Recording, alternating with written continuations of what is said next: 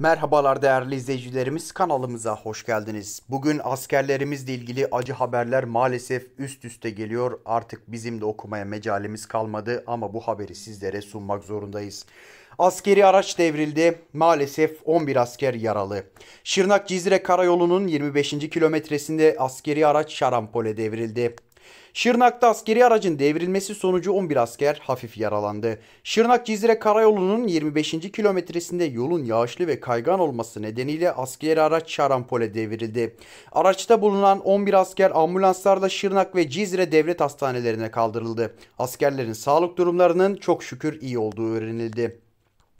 Biz de Hayat ve Eğitim kanalı olarak yaralı askerlerimize geçmiş olsun dileklerimizi ve acil şifalar dileklerimizi iletiyoruz. Değerli izleyicilerimiz bizleri dinlediğiniz için teşekkür ediyoruz. Kendinize iyi bakın. Hoşçakalın.